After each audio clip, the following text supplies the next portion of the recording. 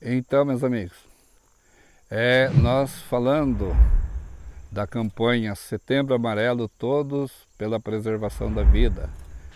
É o mês que se dedica ao zelo no cuidado com as pessoas depressivas. Você que tem uma tristeza, que não sabe de onde que vem, você que tem depressão, né? Tem gente que acha que depressão é frescura, tem gente que acha que depressão é falta de Deus, mas tá cheio de religioso com depressão, tá? A depressão, ela é uma complexidade de dores e sentimentos que o nosso ser não consegue muitas vezes metabolizar no seu dia a dia, tá? Tem gente que acha que a depressão resolve com oração, resolve com reza, resolve com Jesus. Jesus cura a depressão de um monte de gente.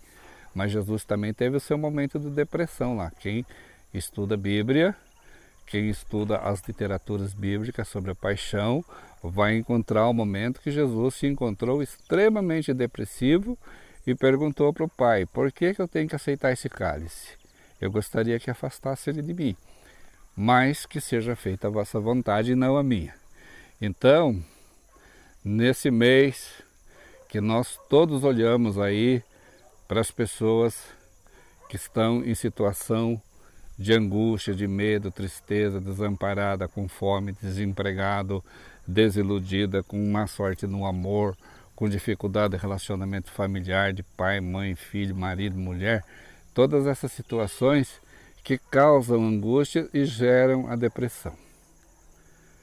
O meu recadinho para vocês, como um homem, um homem da terra, um homem que vive nessa natureza esplendorosa aqui, maravilhosa, bucólica até, romântica, dá para escrever um monte de poesia.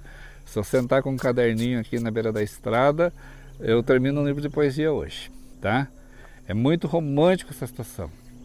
Mas quando a pessoa está deprimida, ela olha para tudo isso e vê tristeza, vê angústia, vê medo, vê vontade de morrer. É como se a gente estivesse caminhando assim para a morte, né? É... O meu recado a você que está deprimido, confie nas forças da natureza, confie nas forças da sua oração, Pratique a sua prática religiosa com amor, com, com dinamismo, com coragem. Faça da sua oração o seu alimento diário, para que você possa também encontrar ali o consolo que sua alma precisa. Olhe para o histórico da sua família. Olhe para o histórico de como viveu seus pais, seus avós, seus bisavós, seus primos, amigos, vizinhos. Olhe os conflitos sociais que esse povo vivenciou. E tudo isso daí a gente precisa analisar que são fatores que influenciam para que uma mente se deprima e busque a morte, né? As pessoas cristãs, as pessoas religiosas, todas elas creem que vai ter uma vida eterna, bonita, maravilhosa, e todas elas creem também que quem morreu em virtude de um suicídio a alma vai ficar sofrendo do outro lado. Eu não tenho muita experiência com relação a essa questão de espiritualidade, como eu já falei para vocês.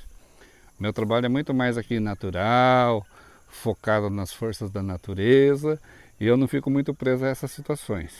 Mas é muito importante que você que acredita, ore, agradeça, ore pelos seus antepassados, ore pelas pessoas que se foram, milhares de pessoas, milhões de pessoas faleceram aí nesses dois anos de pandemia em virtude da doença do Covid-19.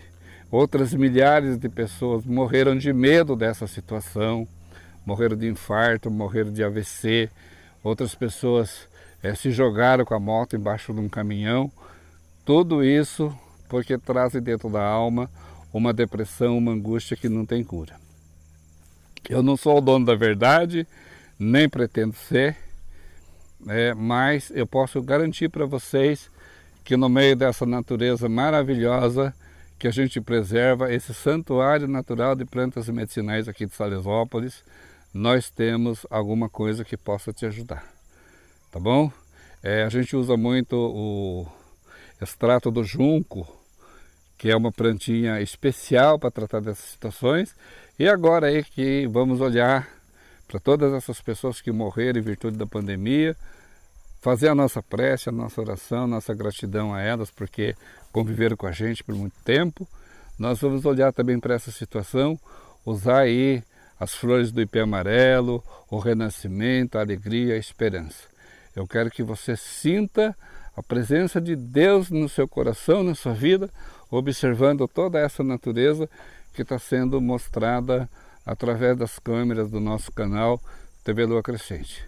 Mês de setembro, setembro amarelo, todos nós lutando pela vida, apoiando e cuidando das pessoas para que evitem a dor do suicídio.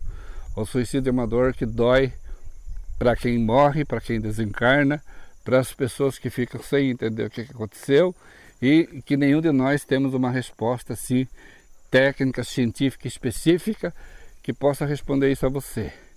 Cumpre-nos dizer que a fé ela é o combustível que aciona o mecanismo do nosso corpo para que a gente remova as montanhas.